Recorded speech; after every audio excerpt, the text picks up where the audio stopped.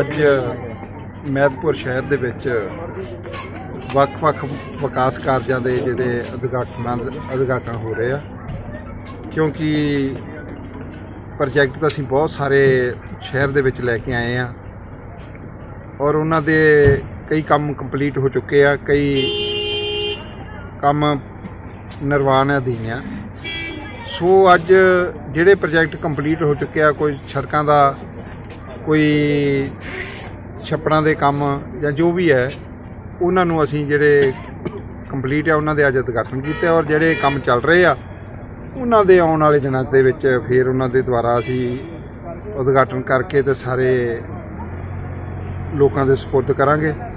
ਔਰ ਮੈਨੂੰ ਆਸ ਹੈ ਵੀ ਜਿਹੜਾ ਮਹਿਦਪੁਰ ਸ਼ਹਿਰ ਆ, ਇਹ ਇੱਕ ਵਧੀਆ ਸ਼ਹਿਰ ਵਜੋਂ ਅਸੀਂ ਪੇਸ਼ ਕਰਾਂਗੇ ਲੋਕਾਂ ਦੇ ਵਿੱਚ। ਔਰ ਇਹਦੇ ਵਿੱਚ ਜਿਹੜੀਆਂ ਅੱਗੇ ਆਉਣ ਵਾਲੇ ਪਿਛਲੇ ਸਮੇਂ ਦਿੱਕਤਾਂ ਸੀ, ਉਹਨਾਂ ਨੂੰ ਅਸੀਂ ਉਹ ਸਾਰੀਆਂ ਦੂਰ ਕਰਕੇ ਸ਼ਹਿਰ ਦੇ ਵਿੱਚ ਵਧੀਆ ਮਾਹੌਲ ਸਿਰਜਾਂਗੇ।